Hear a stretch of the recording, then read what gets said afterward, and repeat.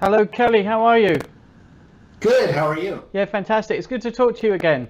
So You too, sir. it's uh, for our members who are watching this t- today. Then um, let's introduce you, you.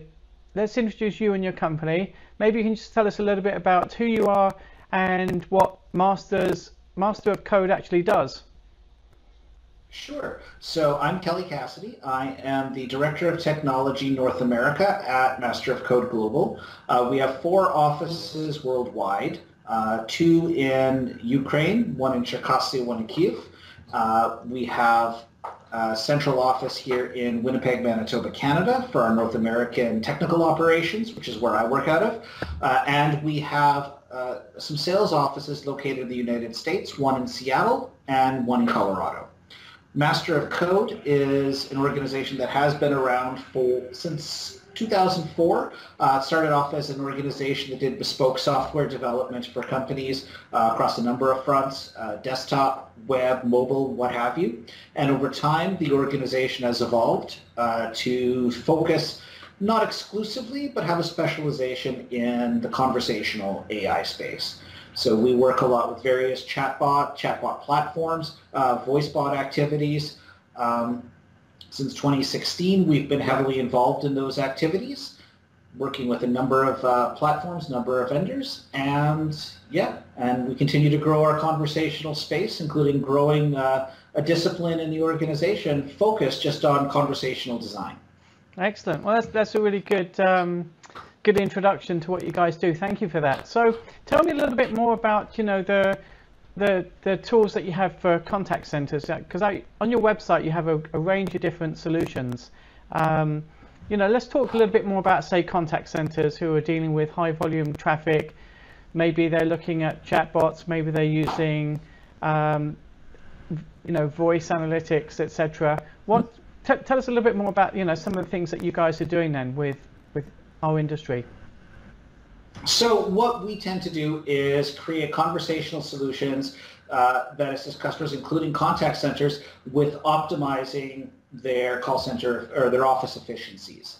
Uh, we will work with customers to identify use cases, some of the more, say the 80% type of questions that could be fairly quickly answered for, uh, for agents that sometimes just take up a lot of time.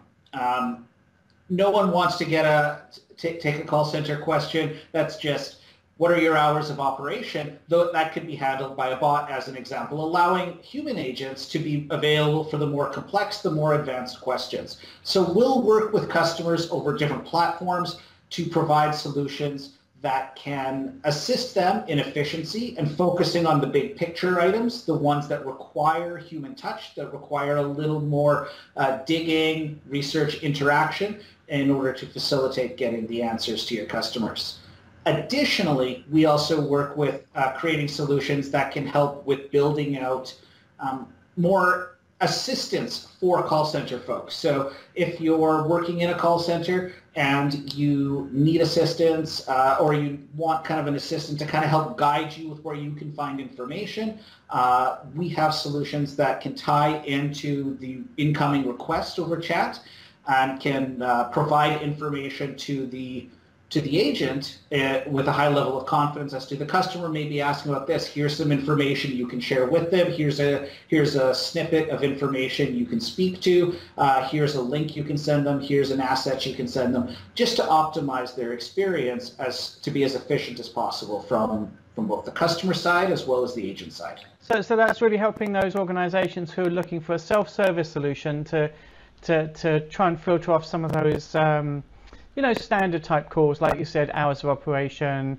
things like that, and then also help the agents as well when they're looking for information to to to, to make them like super agents basically, so they have all the information at their fingertips and the systems are, are supporting them. Exactly. And I think some of those cases, especially the self-serve component, is quite valuable when you hit uh, uh, staffing issues or you suddenly see a spike in growth of the opportunity or the business. It allows you to still continue to serve uh, your customers with a high level of quality uh, as you work through ramping up your team to be able to hand, handle what is hopefully a longer term influx of requests. So, so I guess with um, you know the pandemic and that, I guess some of your solutions must have been very, very useful for contact centers who are already using them or looking to to deploy self-service solutions very quickly. Where we had uh, the pandemic uh, did not slow us down. Let's put it that way. Right. There was still a lot of opportunities for us. We kept we kept going strong.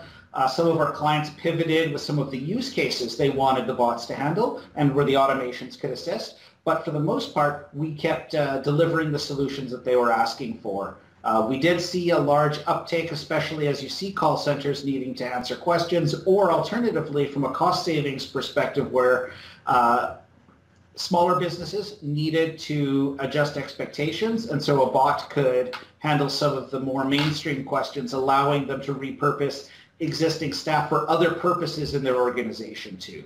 So this way they could still keep a customer service flow solid, they could keep the operations growing strong, but then individuals could still pivot and uh, retain, uh, basically not have to sacrifice any of their workforce where it was possible. Now I, I got a question for you because you, you, you know, you talk about chatbots, you talk about voice as well. Which is the more challenging from a technology perspective to handle? Is it is it the chats because the way people write stuff and they might make spelling mistakes, or is it the voice, or are they both equal, equally as challenging? Uh, I think that depends on who you ask from a technology perspective. I personally think the voice bots are a little more challenging, but that challenge is also part of the fun uh, because you do get multiple different ways in which you can interact. So with the chatbot, you do have an omni-channel experience. Uh, you could do it on a website. You could do it via Facebook Messenger, via WhatsApp, uh, via SMS, via any number of conversational channel. Uh, and you can take in that text. At the end of the day, it's still text that has a natural language parsing to it that then interprets the intent and then returns some of the information to the end user. With voice, you actually have more of a challenge partly due to accents, partly due to regionalization, uh, partly due to some people's just uh, the cues that they give when they speak. Uh, so voice becomes a much more challenging and to me much more fun uh, area to explore into.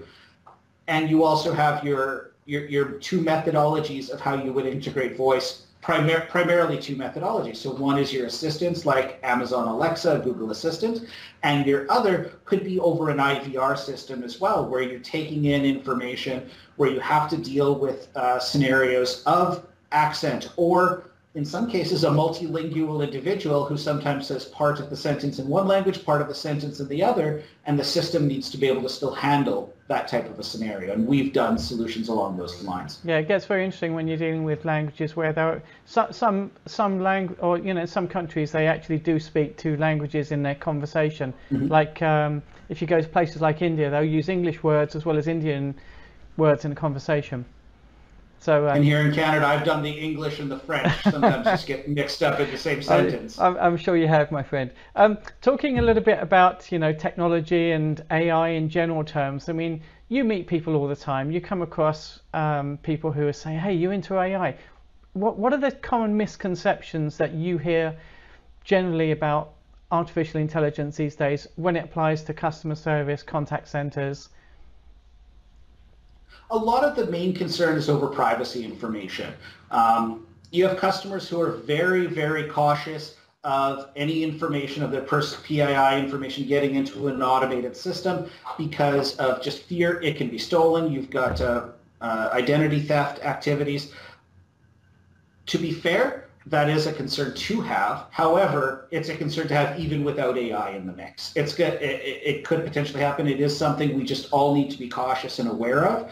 AI doesn't introduce any additional risk. However, uh, the perception that it does exists. So that is something to consider there. Um, most of the time, that is what I hear of the main concerns.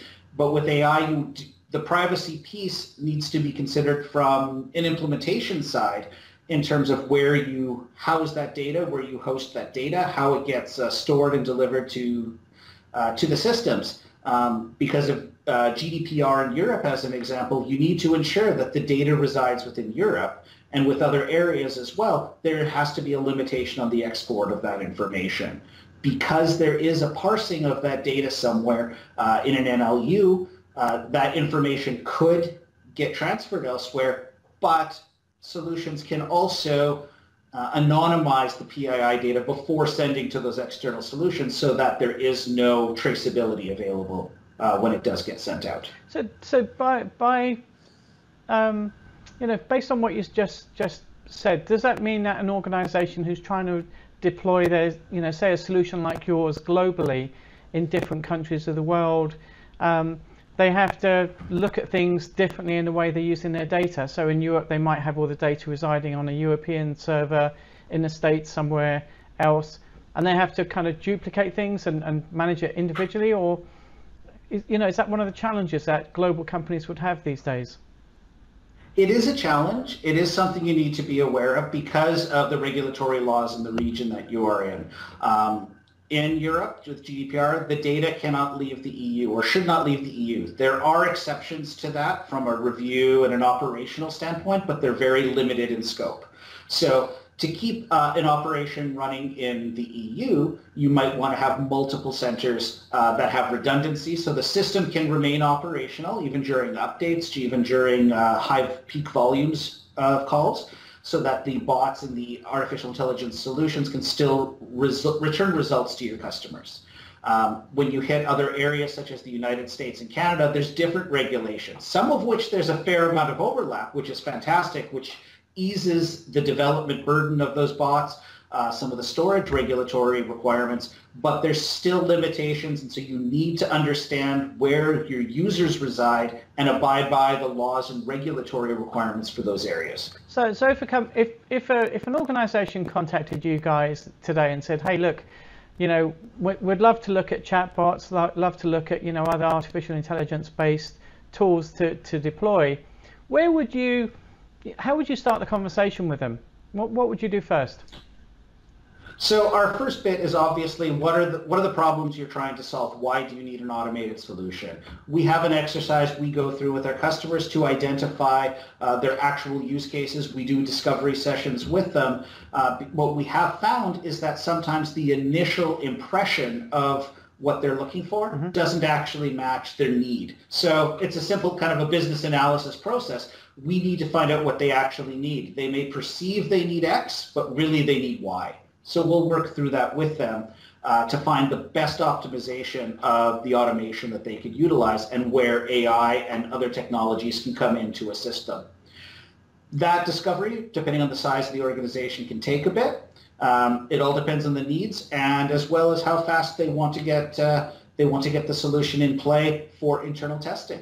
Everything's going to take a little bit of time. Um, but there are optimizations and there are phased approaches you can take in order to deliver the most efficient solution to your customers as you can. Okay, interesting. And you know, as a as a director of technology, you obviously are very much aware about all the trends, what's happening in the industry. That's part of your job is to look at what's going on in the industry and you know also look at technology innovation. What do you personally see as the most exciting evolution or, or the, the next best thing coming along in AI um, in general terms and then maybe also specifically to customer service? In general terms, I think the next biggest component is actually voice technology. I think we're going to see a huge jump in that over the next the next six months to a year, and I think that is explicitly as a result of COVID a lot of individuals, they don't want to touch share touch screens anymore. You look at health professionals, they're going to have tablets to do their work, but they're not going to want to touch the screen when they hand it off to the next individual. Voice is going to be a huge benefit to them in order to maintain uh, just a safety protocol, especially if they're wearing a lot of personal protective equipment. Um, and they may have the gloves on and then the tactic touch on the tablet screens may not actually be, even be operational. So voice is definitely going to be a huge impact there. Um, from a contact center, I do think seeing some more advanced activities in a bot environment is starting to grow. In fact, that is what we're seeing. A lot more integrations to underlying systems to either supply information directly to customers or to provide additional information to agents in an assistant fashion so that they can be as efficient as possible. Customers want information as soon as possible. They don't want to sit waiting 10 minutes while something is look, being looked up in a system. So the more integrations that are available, the more conversations that the agents can have, uh, I think the more pleased a customer is going to be at the end of the day uh, to deliver the request that they've uh, called in and asked for. And, and, as a global organization and 15, 16 years in, in, in business, where do you see the biggest adapt, uh, adaptation of this technology? You know, who's, who are the guys or who are the, the countries in the world where they're really um, adopting this technology early on and utilizing it to its fullest extent? Honestly, we've had we have clients from all over. Um, we do see a lot more activity in the North American markets recently than we have in other markets. Part of that may be due to our presence in North America mm -hmm. and uh, our ability from uh, from a support standpoint. But we have had conversations with European countries. Uh, we have had conversations with African countries. There's a lot of opportunity around the world. I honestly don't think there's one geo that is very specifically focused. I think there is a lot coming out of the North American space, but part of that as well from a voice perspective is due to that is where Amazon and Google are both centralized. So when you look at the two digital assistants, there's a lot of activity coming from those headquarters. Interesting. Certainly, certainly a lot of a lot of activity around the world with chatbots and more mm-hmm. uh, voice-based systems that we're, we're spotting these days, which is really good. Um, we always get asked a question, and I'm sure you get asked it a million times as well, Kelly. But do you think that AI one day will be so sophisticated that we will not need contact center agents? Could it get there? Probably. Should it? I would argue no. I, I think there's still that feeling of the human touch that you're talking to a real person or you have that ability to have a real person available to you to assist where needed. Whenever we build uh, chatbot solutions for our customers, we really emphasize the ability to do a handoff to a human agent. And we try to make that experience as smooth as possible for the end user so that they can experience that uh, with as minimal impact. We want it to be a smooth transition. The customer knows that they're talking to a bot, then they're talking to a real person to address some of the bigger issues. Uh, and then they could get handed back to the bot to continue the experience and the conversation. But their more advanced items are being handled by a person, and a lot of times that provides a lot of comfort from the experiential uh, area. So, so if a company came to you and said, look, we, we want to close down our contact centers, we just want to put everything through a self-service chatbot type of uh, approach, what would your reaction to that be? I would want to understand the use cases uh, that is driving that. I'd want to take a look and make sure that they are activities that make sense from a bot perspective, that it is A, feasible, uh, B, and B, makes sense to an end user who will be engaging with the bot, that there aren't any expectations uh, that they could still get to someone as a real agent. Now, there would still need to hopefully be a, a, live agent handoff in a certain sense, even if it's just a leave a message and an agent calls them back via another channel or via or contacts them via another medium, even email.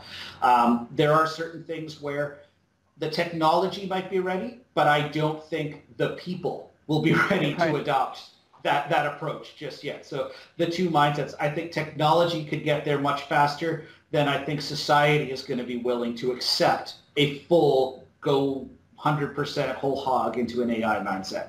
Interesting.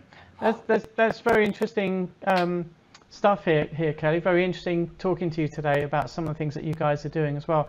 And, um, you know, I want to thank you for, for joining us. It's been great talking to somebody who's literally just down the road from us in, in, in Winnipeg. So um, thank you for your time. It's been a pleasure talking to you. And we'll hope to see you again soon on some of our other online events. So thank you, my friend, for your Sound, time. Stay safe and take sounds care. Sounds great. Thank you for having me. Thanks a lot. Take Appreciate care. It. Bye.